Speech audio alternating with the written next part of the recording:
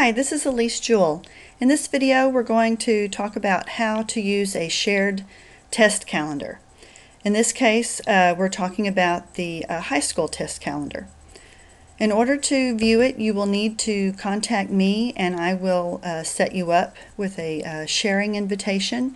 You should get a sharing invitation from me in your Outlook uh, email.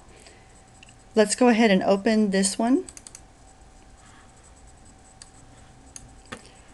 Okay, in the email, uh, there's not much helpful information except here in small print it says add this calendar. By clicking on this, it will add the calendar to your um, list of calendars. You should get a message here that says it was added. Click OK.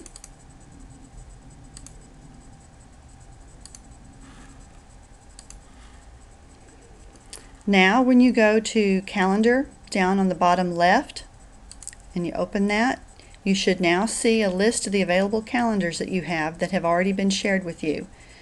Uh, in this case, there is a personal calendar under My Calendars, and then there are two shared calendars. Uh, in your particular case, you may only see one. Okay?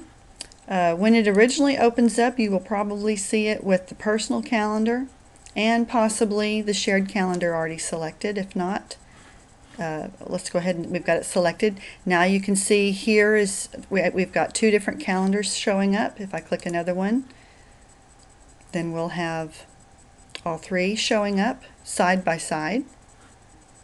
It gets a little confusing seeing all that and in order to make sure that you're working in the correct calendar you might want to close those that you really don't need. You can do that by either unchecking it or by clicking on the X next to the name. We're going to work in the high school calendar. As you can see, there are lots of tests and other things scheduled. There are even uh, uh, holidays listed so that you don't, by accident, put a test on a holiday. Let's go ahead and add a test. I'm going to add it on the 22nd by double-clicking.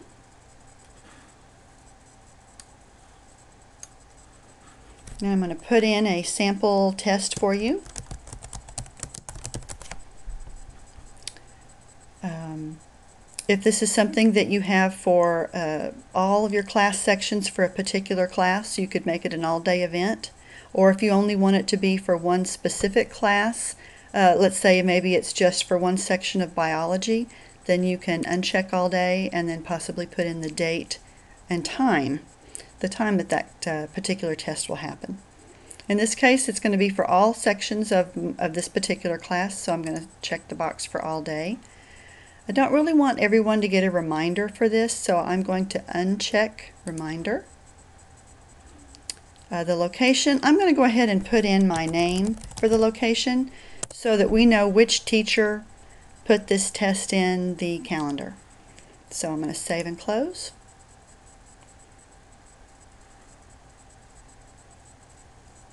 And now you see my new test with my name next to it.